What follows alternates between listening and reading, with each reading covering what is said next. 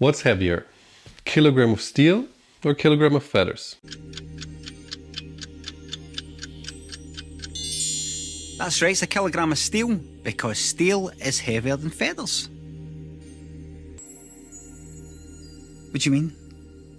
They're both a kilogram. But steel's heavier than feathers. Mass. How heavy something is. What is mass? Mass is a property of matter and all matter has mass. In a sense, uh, it is what makes stuff stuff. Property, okay, but what does it really do? Well, mass has two qualities. First, there is inertial mass, so means that mass always has inertia associated with it, which means it will always attempt to keep going the exact way it is going at the moment. And we'll talk more about inertia in the future, but it will not be super relevant in this video. Second, mass has gravitational mass, meaning all masses attract each other through gravity, and this is what gives mass weight. We're, already getting a bit ahead of ourselves here, so let me be very clear in one thing. Weight is not the same thing as mass. It is an effect caused by mass. By analogy, uh, think of a lamp. A lamp causes an effect called light. But light is not the same thing as the lamp, and the same goes for mass and weight. So let's be more precise. Uh, weight is actually the force between two masses, the gravitational force between two masses. So what we usually call the weight of an object is just the force between the Earth and the object. So if we ever move to Mars, for example, all weights would be different because Mars has a different mass than Earth. So all the weights of objects would be off, but the masses would still be the same. Still, those two things are directly proportional to one another. So to say that mass is how heavy an object is, is not wrong wrong. It's a simplification, sure, so it's inaccurate, but it still holds water. So in, in summary, for our purposes here, mass is a property of matter and it tells us how heavy an object is. Volume, how large something is. What is volume? And uh, no, not the sound thing, but the space thing. Let's start with a very simple form, a cuboid. That's essentially the same thing as a cube, but not all the sides have to have the same length.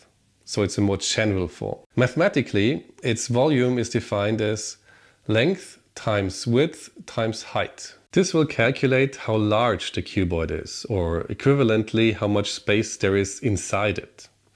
For example, how much air is in an empty room or how much water is in a pool. And I don't really want to spend too much time on this because chances are you already understand how the three dimensions work and what a room is. And um, if you understand what a room is, you understand what volume is. So again, simplifying and summarizing. Volume is a measure for three-dimensional space. How large something is. Density. Cramming mass into volume. Now, one key insight about mass or weight is that it depends on how much of something you have. I wouldn't want to look at the size of this. That's cheating. Oh, they're the same no, weight. It's a kilogram. When you say that steel is heavier than feathers, you're technically not talking about weight because the question, how heavy is steel, strictly speaking, makes no sense. But steel's heavier than feathers. Just like uh, how long is a rope? It depends.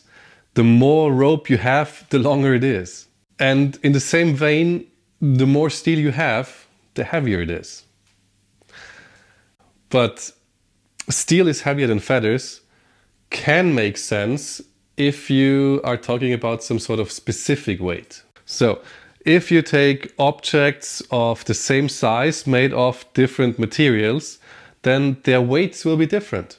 And in this sense, steel is heavier than feathers does carry meaning. And the thing is, we actually use this concept of specific weight and also specific mass. We call it density. In the most basic terms, density is packaging.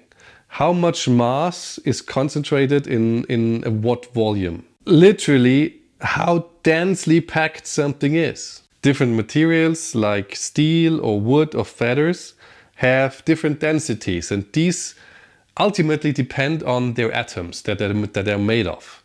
How massive they are and how densely packed they are. Like, for example, these are water molecules in fluid form. These are water molecules in solid form, aka ice. We can see that the regular crystal pattern of ice has large gaps and thus less mass per volume. Thus, the density of ice is lower than the density of water. And uh, that is why ice floats on water, for example. How massive an atom is depends on how many protons and neutrons it has. So it's the same basic principle again. More mass per volume. Summary and conclusion. Note that we have discussed um, mass density, which is the most common density, but there are others too. You could look at how many people live in a given area, it's the population density. Or you could look at the density of traffic or even of restaurants or whatever. It's a universal concept, really. Also, um, we can define density not just with regard to volume, but also to area or length. For example, as humans are essentially bound to the surface of the Earth, we usually express population density in people per area, not per volume. To sum up, mass is stuff, volume is space, density, how much stuff you cram into space. Okay, smallest mic drop in history.